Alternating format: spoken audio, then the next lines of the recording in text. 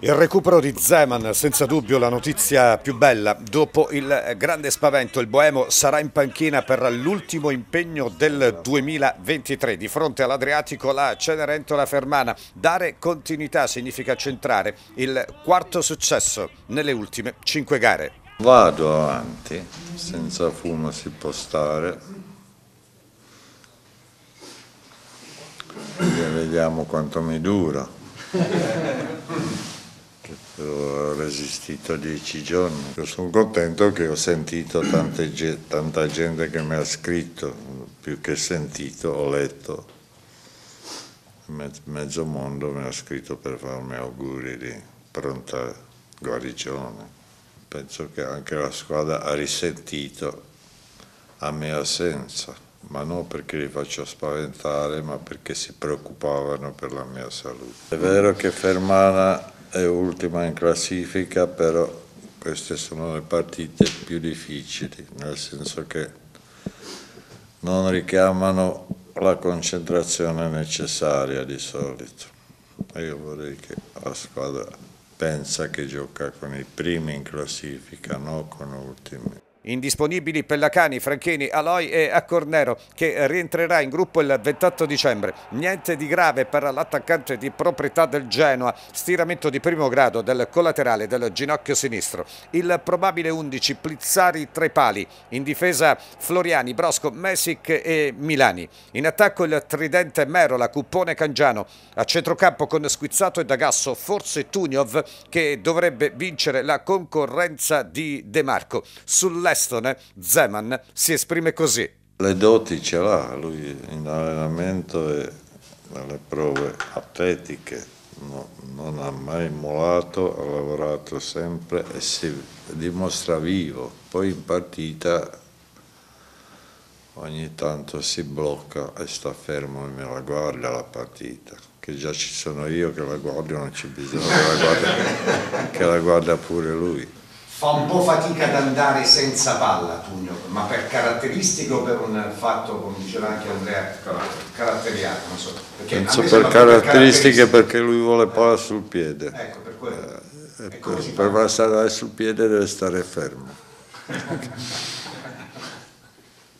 no, speriamo che cambi, perché il giocatore ha i mezzi fisici e tecnici. Fermana, come si diceva, ultima in tutto, fanalino di coda, peggiore attacco, 10 gol, difesa più perforata, 28 reti in trasferta, appena 3 volte a segno, l'ultima di fatto due mesi fa, lo scorso 25 ottobre, 2 a 1 ad Olbia, numeri senza dubbio impietosi, ma squadra in serie utile da tre partite, due pareggi ed una vittoria nell'ultimo turno casalingo con la Juve Under 23, out Paponi e Montini, Fontana squalificato, fuori lista Padella, Calderoni e Laverone. Il tecnico Stefano Protti, subentrato a Andrea Bruniera dopo sette giornate, si affida alla 4-3-3. Probabile 11, Furlanetto Trepali. In difesa Santi, Spedalieri, Gasbarro e Pistolesi.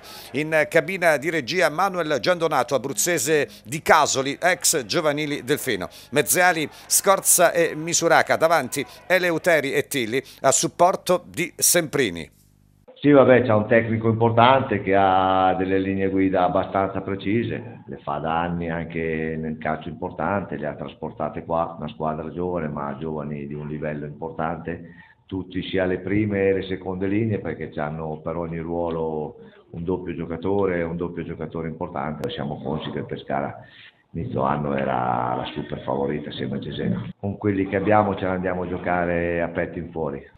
In Abruzzo cinque precedenti altrettanti successi del Delfino. Il più recente in Coppa lo scorso 5 ottobre 6-1. Fontana illude la Fermana che poi sarà travolta in evidenza Manu. Due gol e un assist per il 4-1 di Tommasini. Le altre reti di Cangiano, Accornero e Merola su calcio di rigore. Al ventiseiesimo apprensione fortunatamente senza alcuna conseguenza per Zeman. Scivolato nel fossato della sua panchina per un contatto forte fortuito col terzino ospite Pistolesi.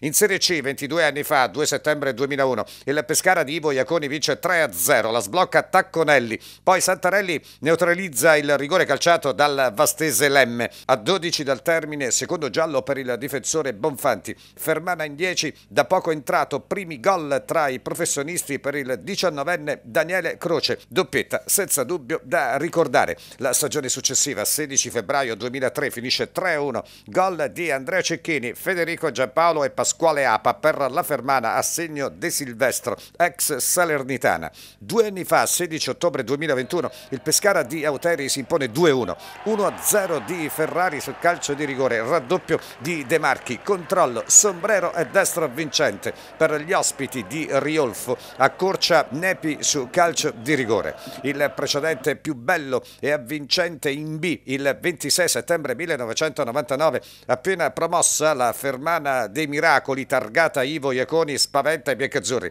Sotto di un gol Zanini, i canerini la ribaltano grazie a questa doppietta di Max Fanesi. All'intervallo però l'intuizione di Giovanni Galeone che sfrutta in un'unica soluzione tutti e tre i cambi, fuori riusciti, Sullo e Maurizio Rossi dentro Giacobbo, Allegri e Palumbo, contro Ribaltone e vittoria per 4-2, marcatori ancora Zanini, quindi Palumbo e da ultimo il gioiello di Massimiliano Allegri, finta e collo esterno di raro pregio sotto l'incrocio, imparabile per l'ex Mimmo Cecere, purtroppo scomparso troppo presto.